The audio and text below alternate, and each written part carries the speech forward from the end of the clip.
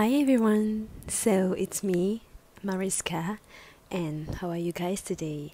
I hope you are all very well because we haven't seen in a long time. And today I'm going to present you about the chapter 1 and also chapter 2 of my assessment, and I hope you all enjoy it. So, the chapter 1 1.1 background of the study. As we know, that in Indonesia we have the very good natural resources, the natural destinations from Sabang until Merauke, and tourism is one of the great source of income for Indonesia.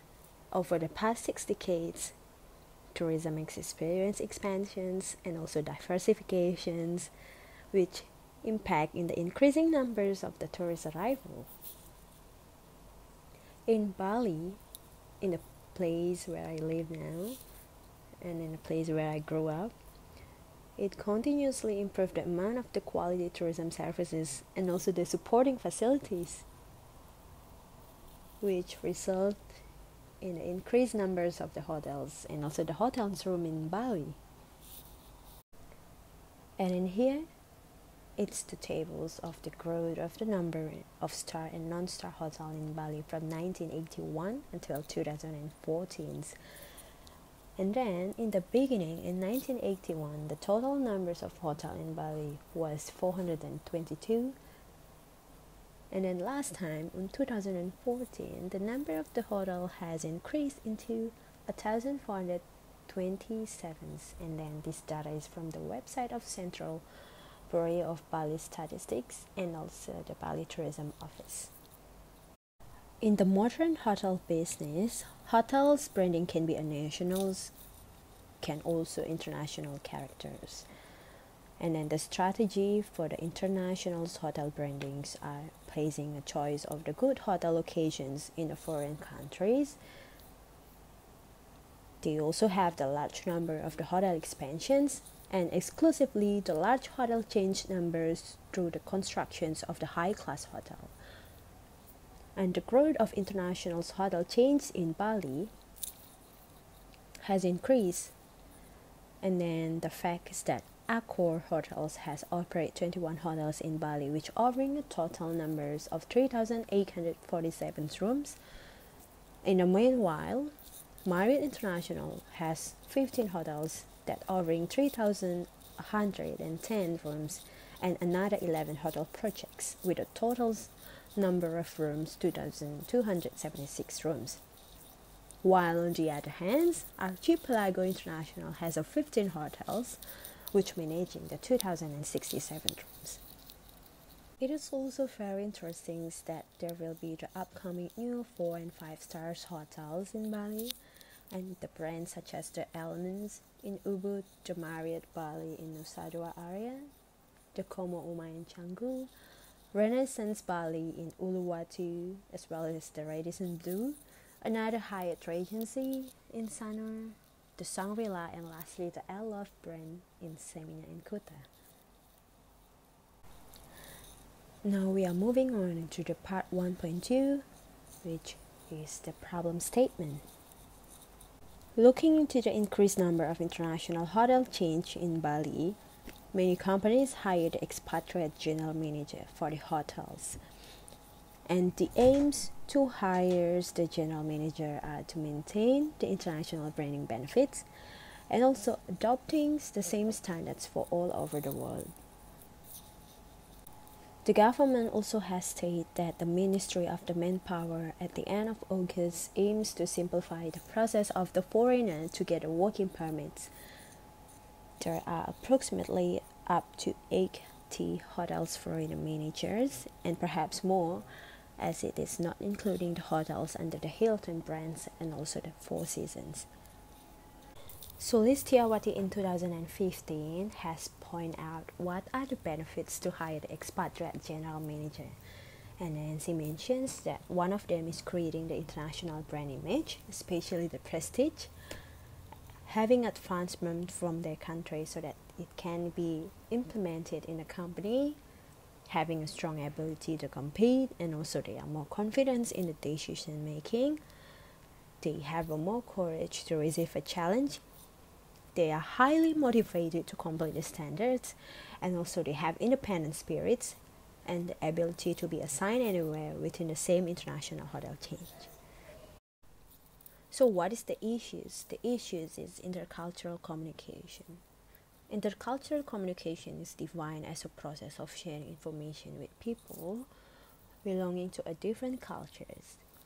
And the case to the expatriate general manager that can happen is first, the expatriate general manager may only have a little knowledge of Bahasa Indonesia because they just recently placed within the country.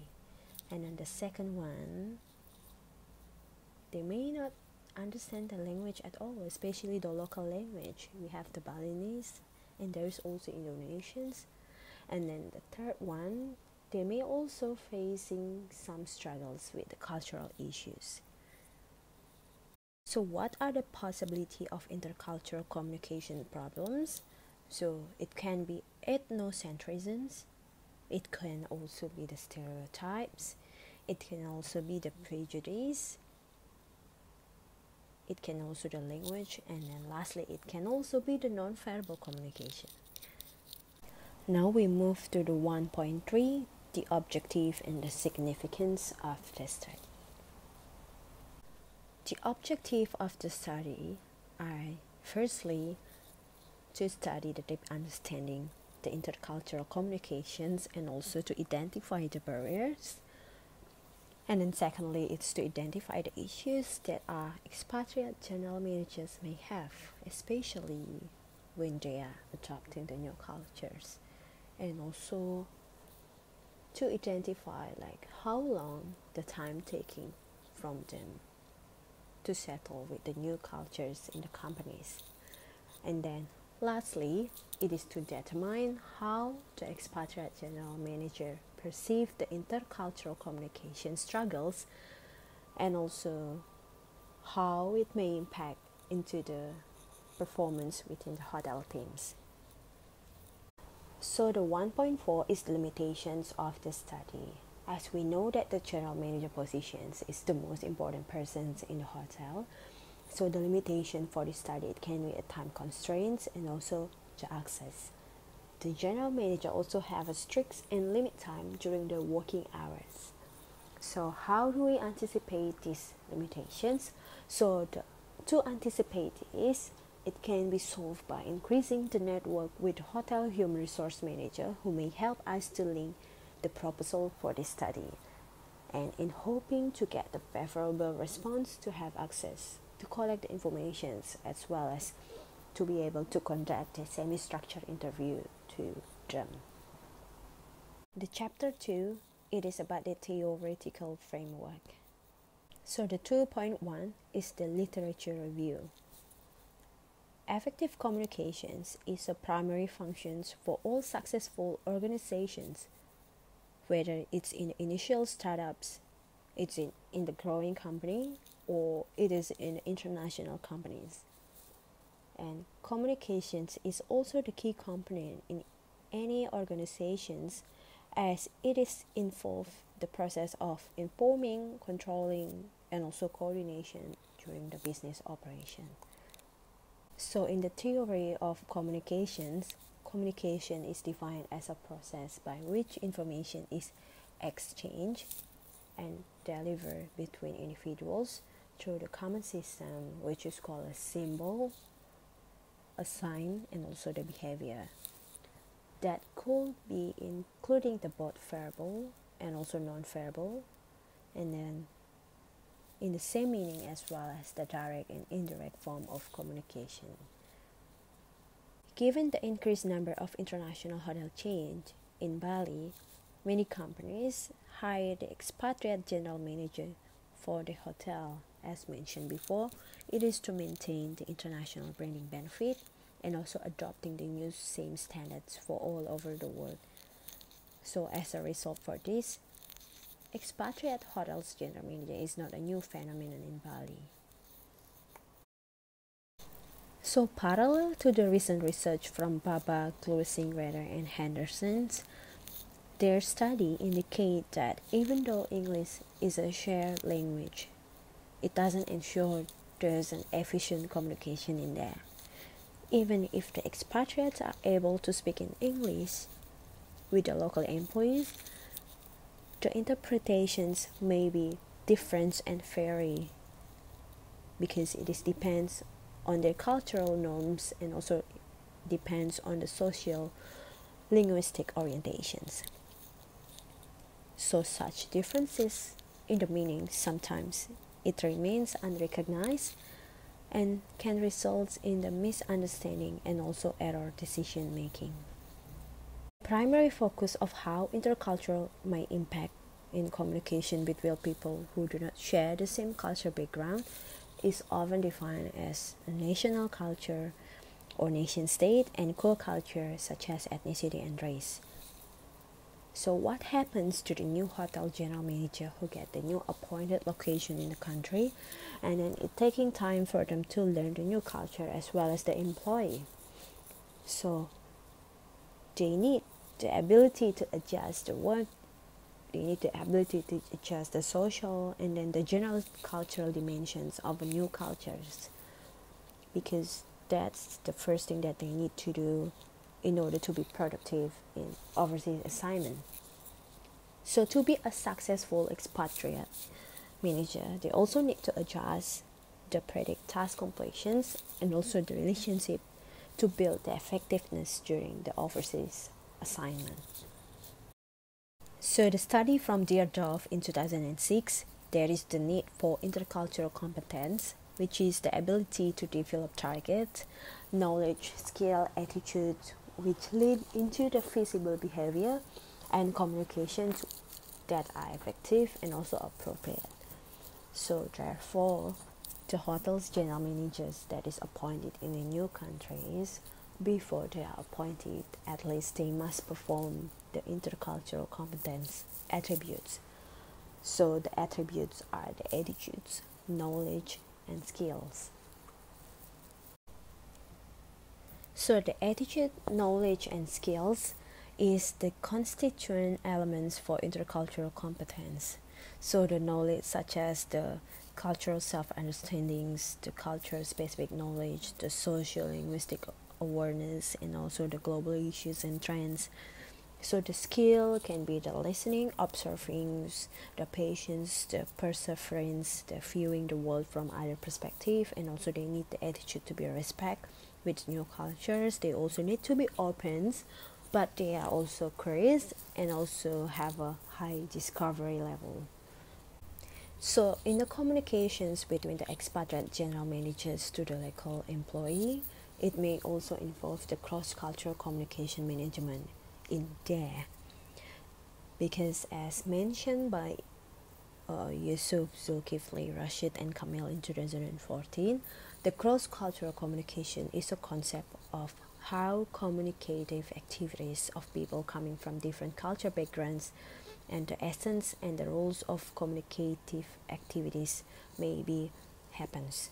So the concept is looking into how people from different cultures and communicate between and how they exchange the informations.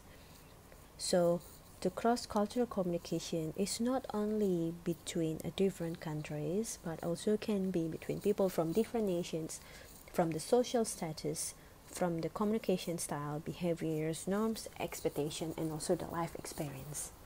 But again for this study we will be more specific into how the cross-cultural communication can happen between people from different countries as we are analyzing how intercultural communication might happen between them.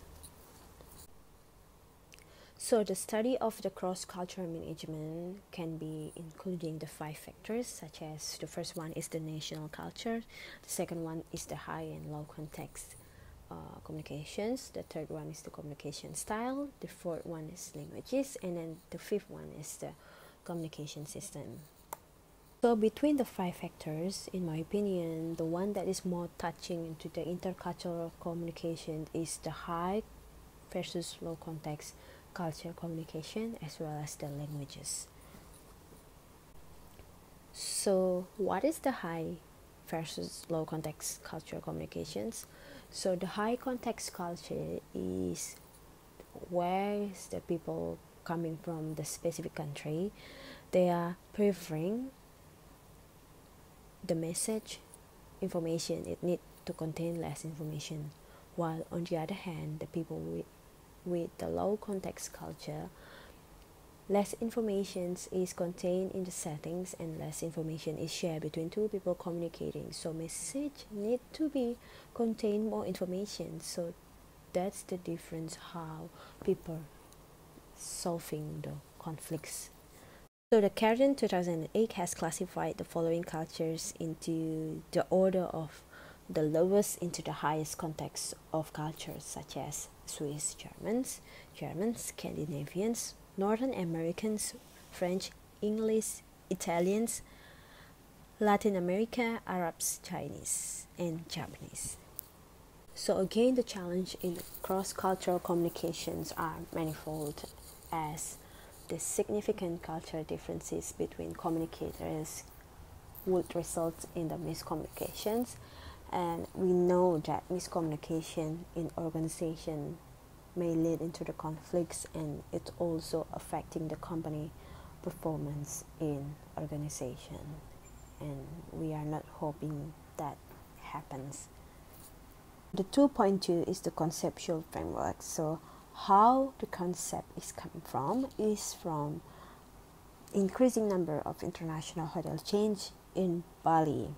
As a result of the increasing number of the hotel chains in Bali, there is the need to hire the general managers to allocate within the country, especially if it's international brand. They will use the expatriate manager to be assigned in anywhere within the countries. And when the general manager is hired, there will be the local employees that they need to work with. So this is where intercultural communication may happen between expatriate general managers and also the local employees. So Back again into definitions of intercultural communications. Communication is defined of exchanging the informations. So how exchanging the information can happen between the manager and the employees is like the situation in where they need to delegate the work, in where they are doing the meetings, and where they are doing the everyday communication. In which communication that can be the verbal or non-verbal, can be direct and also indirect communication. So instead of intercultural communications, there will be also the cross-cultural management happens within the organization. So when the expatriate general manager is allocated within a countries, before they are allocated, they need to have the intercultural competence, right?